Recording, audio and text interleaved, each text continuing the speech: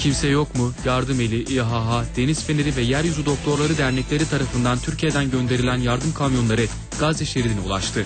Mısır'da tasnif edilen gıda ve ilaçları taşıyan kamyonlar Refah sınır kapısından Gazze'li yetkililere teslim edildi. Kızılay ekibi de yardımlarını Refah'tan yapmak için fizibilite çalışmalarını sürdürüyor.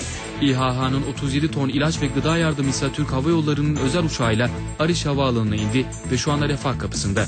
Bu arada İsrail Gazze şeridine insani yardım götürülmesi için bir koridor açılacağını bildirdi. Türkiye